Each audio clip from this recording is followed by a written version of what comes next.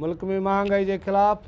Pakistan peoples party के सद से पी पी कारकुन रोडनि से निकरी आया पाकिस्तान पीपल्स पार्टी के कारकुन हाजी मोहम्मद हसन मंगण जो कामरेड खुदा में सतो ऐं की अगुवाणी में प्रेस क्लब जे वारो एहतजाजी मुज़ाहिरो कर वफ़ाक़ी हुकूमत के खिलाफ सख्त नारेबाज़ी कई है एहतजाज कदड़न सिंध टीवी न्यूज़ से ाले पाँ वीचार जेको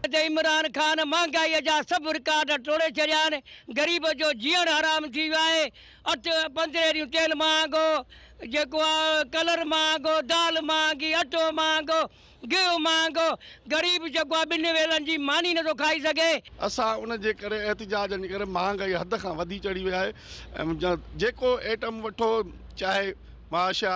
चाहे डीजल हो जाए चाहे तेल हो जाए चाहे लाइट हो जाए चाहे बिजली हो जाए गैस हो जाए इवन ईअं करे सम्झो त टैक्सिस में एतिरो हिननि वाधारो कयो आहे ॿिनि खां पंजूण त कयो आहे तब्दीली सरकार खे पुजे त जेको हाणे भला कंहिं आवाम जे हालत हली करे रहम ॾिए सब्सिडियूं असांखे न खपनि इहे जेके गुदाम भरियूं वेठा आहिनि कलरनि जा ऐं इहे स्टाक कयूं हिन पार्टीअ जा माण्हू जेके आहिनि उहो असांखे जेको में था पवनि पिया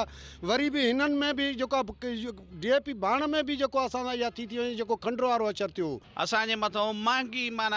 हुकूमत महांगी पइजी वई आहे ॻिचीअ में पइजी वई आहे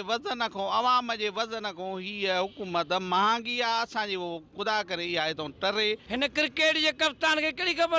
आज़म केरु थींदो आहे हिनखे न मैश जी ख़बर न का मुल्क जी ख़बर रुगो अठे ॾींहं आवाम खे ख़िताब पियो थो करे त चए थो घबराना नई असांजा बचा पिया था भुख मरनि हे चए थो घबराना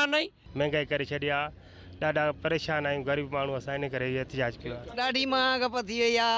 અટોમાં ગયા ચીનીમાં ગયા હર્ષેમાં ગયા એને વઝીર આઝમ તબાહ કરી છॾियो आहे एहतजाज कंदड़नि पीपी कारकुन मुतालबो कयो है त फौरी तौर ते महंगाई जे तूफ़ान के कंट्रोल करे आवाम जे अंदर पखिड़ियल बेचनी के